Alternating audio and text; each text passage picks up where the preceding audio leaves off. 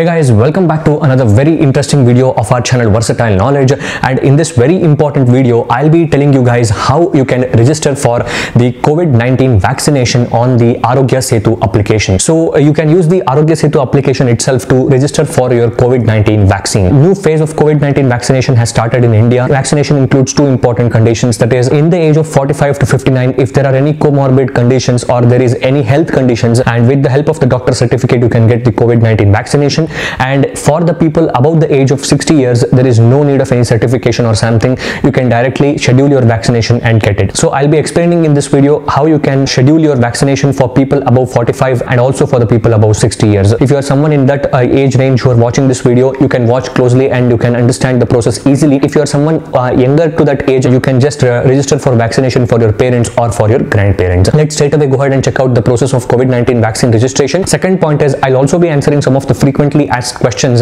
about the COVID-19 vaccine. I'll be actually recording the screen of my smartphone right from the process of installing the application to the registration of vaccine itself. So for this process, first what we have to do is, as you can see, I'm recording my screen over here. First thing what you have to do is you have to just go ahead and open the Arogya Setu application on your smartphone. Just go ahead and open the Arogya Setu application. If you're already a user of Arogya Setu application, then it's fine. Otherwise, if you're not using Arogya Setu application, you will have to register your device for the first time. So it needs all these permissions. You have to actually go ahead and give the permission as you can see just click on allow and just click on allow and you have to enter your mobile number over here. And once you enter your mobile number you will get an OTP and the registration process will complete. As you can see I have just opened the Arogya Setu application and here we have the normal tabs. I am not going to uh, check the normal tabs because it is very common. And let's go to the vaccination tab over here. In the vaccination tab this is the most important part guys. Let's go ahead and enter our mobile number in the vaccination tab and later we will verify the mobile number. Again we will get an OTP for the verification for vaccine registration. So my OTP verification has been completed for my vaccine registration. As you can see there are important sections that is present on the screen. Here it says a user can register maximum of four beneficiaries. So that means you can register for the vaccination of four different people. In your account you can register for four different people for vaccination. Let's go ahead and select the type of the photo id card that you need to bring to the vaccination center. Whichever photo id card you select here you need to take the same photo id card for verification during the vaccination process. So these are the accepted uh, verification methods that is present. Aadhaar card driving license pan card passport pension book npr smart card or voter id card. These are the different types of documents that is accepted for the verification of vaccination. Let me go ahead and select the pan card over here. Photo id number beneficiary name year of birth and gender must be the same as available on pan card is something that is present. Let me go ahead and enter the pan card number over here. So as you can see i have actually set all the uh, information that is present over here and i'll select the date of birth and go to the submit over here. Once we go to the submit button as you can see it has given this prompt and individual will be linked to this respective mobile number. Let me go ahead and select the beneficiary name. So for this person we are registering the vaccination on the Arogya Setu application. So let me go ahead and select the schedule vaccination. In the schedule vaccination you are having two important methods. If you want to uh, you know get a free vaccination then also it is possible. If you want to get a paid vaccination then also it is possible. Let me select the paid vaccination over there. And also I will select the pin code guys and let me send the find vaccine center. So these are the different vaccination centers that is present over here. If you want to enter a different pin code that is also possible. Find vaccination center. As you can see these are the different vaccination centers that is available. Let me select something. For this video purposes i'm just selecting random hospital over here. Let me go ahead and select this calendar that is present. So this is the calendar that is present guys and you can select any date and set. So you can click on check availability. As you can see there is the availability is present over here. The nearest date that is available for vaccination is 4th april 2021 forenoon or afternoon. So you can just select forenoon or afternoon guys. Previous week there is no slots available. Next week the slots are available. And just select for proceed.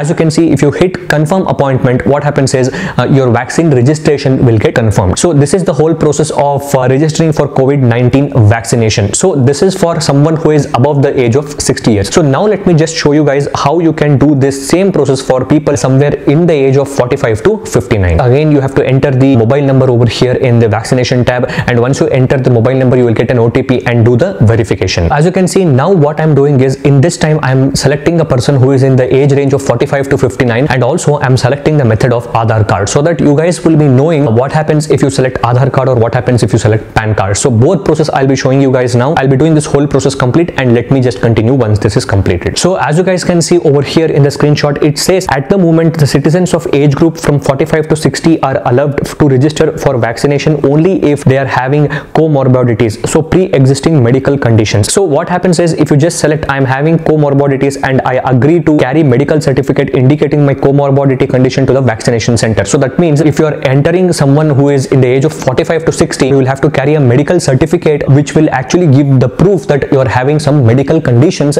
and you need the vaccination. So this is the whole process of uh, registering for COVID-19 vaccine guys. When you enter and go ahead and select the option, rest of the process is similar to what we had done in the previous step. So let me go ahead and schedule vaccine over here and enter uh, the pin code that is present. As you can see, there are a lot of vaccination center that is present in and around the place that I have entered and also I can select the date. You can see that availability is present over here. Nearest date that is available is 1st April, 2nd April and 4th April. So you can just select and go to proceed and confirm the appointment. When you hit on confirm appointment, then your slot will be booked over there. This is the process of registration for COVID-19 vaccination using the Arogya Setu application. So now what I'll do is I've actually written down some frequently asked questions about the COVID-19 vaccination over here and I'll be actually answering some of those questions. If you are above the age of 60 years, uh, then the application will not ask you any questions. Directly the registration will be completed for COVID vaccination and if you are from the age of 45 to 59, you will have to show the medical certificate for that. So second important question is when is the second vaccination that should be done and should be registered for second vaccination or something? Uh, the answer is when you register for the vaccination, you will get a date. So for example, if you get on 1st of April, uh, generally the second vaccination will be from 28 days or 4 weeks from the first vaccine. It is not something like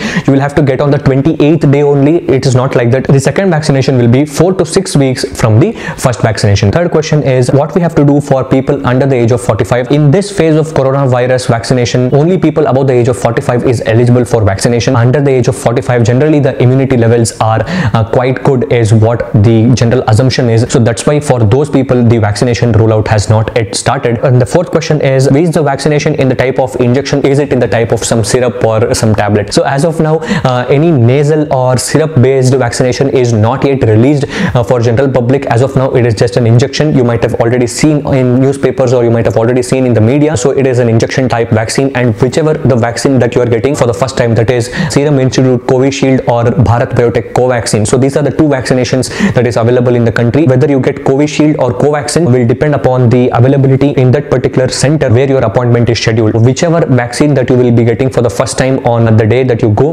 will be the same vaccine you will get for the uh, second time that you go. So two vaccines are mandatory. Next question that people have asked is, is it mandatory to get COVID-19 vaccination? It is as simple as if you need to be immune from COVID-19 or if you need to get immunity levels high for coronavirus and you need to be safe, then COVID-19 vaccine is very important. If you need to get immune, you need to get vaccination. So guys, the next question was how much percentage will it improve the immunity of a human being after getting the COVID-19 vaccination? So answer to this is after the first vaccination, generally the immunity level improves from uh, somewhere between 15 to 20 percent depending upon the body's natural or organic immunity as well. So upon the body's natural or organic immunity, 15 to 20 percent improvement will be given. So that is what it is said in the media or that is what it is present in the uh, articles guys. I will also be linking some of the articles which actually says this information in the description below. This is not something that I am making claims. So after you get the second vaccine, the immunity levels for coronavirus, this strain of coronavirus will increase um, by somewhere around 85 to 90 percent. So these are some of the frequently asked questions about the COVID-19 vaccination guys and this is the whole video about how you can register for COVID-19 vaccination using the Arogya Setu application. So if you guys have liked this video, please hit the like button, share this video with your friends and subscribe to the channel for more interesting content like this one. Thank you for watching guys.